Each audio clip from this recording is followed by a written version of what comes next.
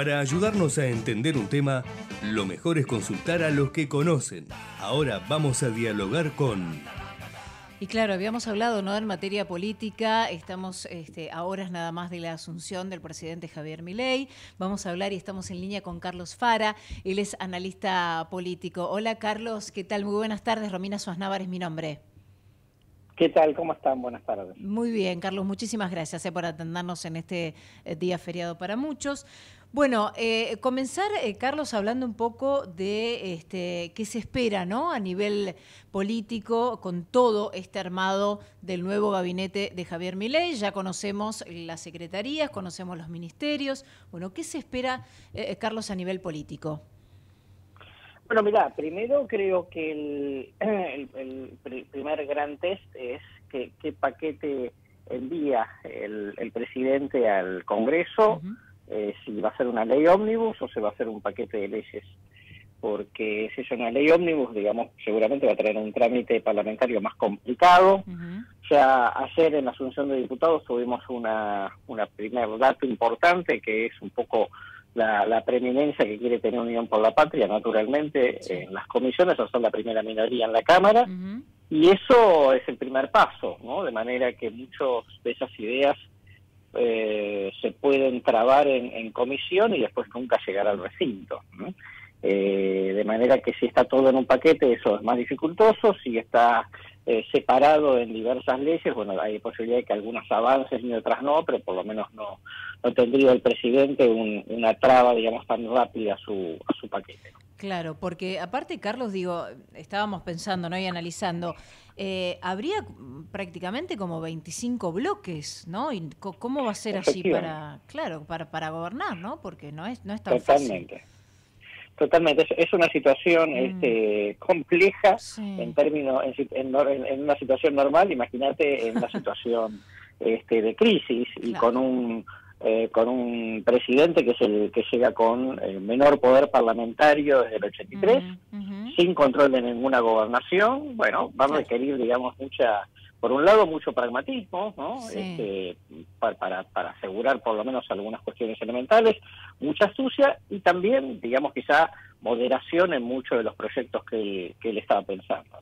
¿Y qué pasa, eh, Carlos, digo, con, con, los decretos de necesidad de urgencia, ¿no? Porque se hablaba mucho de esto, pero tampoco se puede gobernar a través de esta modalidad, porque va a llegar un punto que no, no va a poder seguir eh, imponiendo las leyes de esta manera, ¿verdad? No se puede gobernar así el país. Claro, totalmente. A ver, primero, algunas cosas se pueden... Eh, Hacer por decreto. digamos, claro, decreto de urgencia. Después tienes que pasar por la Comisión del Congreso, que claro. también va a ser difícil, pero bueno por lo pronto, digamos, este, ahora, cosas muy ambiciosas, privatizaciones o reforma del Banco Central o modificación de, la ley de contrato de trabajo son todas cosas que sí o sí pasan por el Congreso, ningún DNU las puede resolver. Y acá yo te diría que un, una, un obstáculo, obviamente, es el Parlamento, Después va a haber otro obstáculo importante que está en la justicia. Claro, Esto es, mm. el, todas las decisiones que toma el Estado pasan por el fuero contencioso administrativo, que digamos que lo va a auditar, te diría, seguramente de, manera permanente, aunque más no sea por presentaciones que haya este, de afectados ante la justicia. Y eh, una Corte Suprema, digamos que va a ser, daría la impresión, digamos, de que va a ser eh, bastante severa, ¿no? Con, con mi ley, algunas, algunas declaraciones hubo durante la campaña, de manera que yo te diría que hay una especie de, situación de pinzas que le mm. complica la vida de manera importante. ¿Y qué opina de la designación de Cunio Libarona al respecto, así como ministro de Justicia? Bueno, a ver, un personaje eh, muy conocido, eh, digamos que la, la, la, la, digamos, la Corte Suprema sabe quién es, el mundo de Comodoro Pi sabe quién es. Eh, Los medios también, ¿no? Los medios también Totalmente, totalmente, por supuesto, un personaje hábil, ¿no? Sí. muy, muy hábil. Eh, en ese sentido no es un paracaidista, ¿no? Mm. Después, independientemente después cómo se maneje, me parece que entre el Ministerio de Justicia y la idea de poner a Baba como procurador, Sí. Este, eh, es una, una persona con experiencia en la década del 90 precisamente para, digamos, este, interactuar con esta dificultad del andamiaje jurídico que pueden llegar a tener algunas de las decisiones del presidente. Claro. Y ahora, eh, eh, Carlos, esta relación ¿no? entre Macri, Milei en su momento, por momentos parecía que se acercaban, por momentos empezó a tensar, después Milei empezó a poner su gente, ¿no? Y dejó un poquito atrás lo que le decía Mauricio Macri. ¿Cómo está hoy, digamos, la relación? ¿O cómo puede seguir esta relación si es que continúa en buenos términos, no?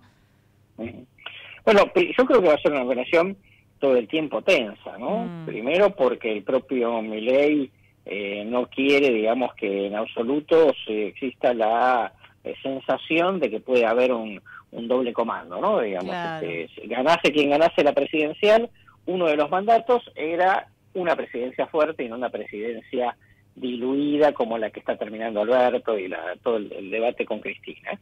Eh, de manera que me parece que Milei hizo todo el esfuerzo porque pareciera que este es un gabinete de Milei con algunos invitados. Exacto. Y en donde, por supuesto, la figura política más fuerte de todos esos socios eh, es la figura de Macri.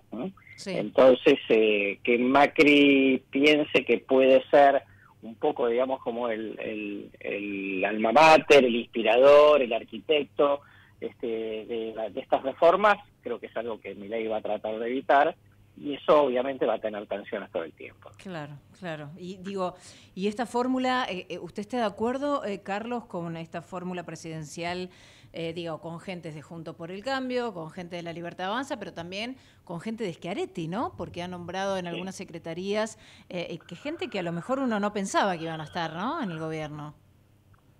Sí, totalmente, porque yo creo que lo que hizo Milei en ese sentido es diversificar el riesgo, ¿no? Sí. Eh, para no depender solamente de alguien que en algún momento le pegue el portazo y entonces obviamente se le desarma el gabinete. También por el hecho de que lo que le propone Macri no alcanza como apoyo parlamentario, ¿no? Digo, para un pro totalmente fragmentado. Sí. Entonces es lo que le apoya Macri, lo que le tiene que apoyar Patricia Burris, lo que le apoya Schiaretti, aún así no llega, creo que faltan cosas y por eso me parece que hay otros signos, eh, por ejemplo, el hecho de que la actual secretaria de Energía pase a Secretaría de Minería, ¿no? Flavia me parece que es un guiño al gobernador de Salta.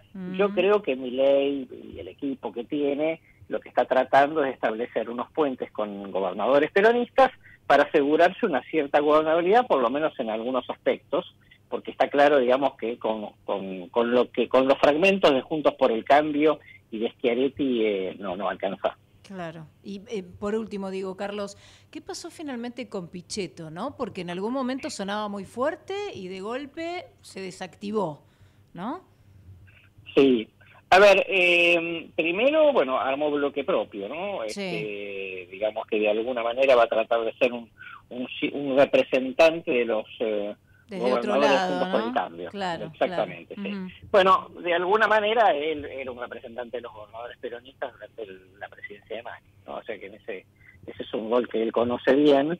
Esto es un esto recién empieza, ¿no? Digamos, en el sentido de que eh, muchos de estos bloques más chicos pueden llegar a ser estratégicos en, en conseguir quórum o en aprobar una ley. Tal cual, en votos, en quórum, eh, es cierto. Eh, exactamente. Entonces, eh, me parece que eh, figuras acá como muy experimentadas como las de Pichetto, más allá del tamaño del bloque, creo que a la corta o a la larga van a tener un rol importante y quien dice en un, en un segundo gabinete de, de mi ley pensar que algunas de estas figuras se tienen que incorporar necesariamente. Bien, bien. Carlos, muchísimas gracias por esta comunicación con Hora 15. Muy amable. No, por favor, un, un placer. Igualmente, muy buen fin de semana. Hasta luego. Hablábamos con Carlos Fara, ¿eh? analista político, bueno, dándonos algunas revisiones del futuro gabinete justamente de Javier Milei que asume el próximo domingo.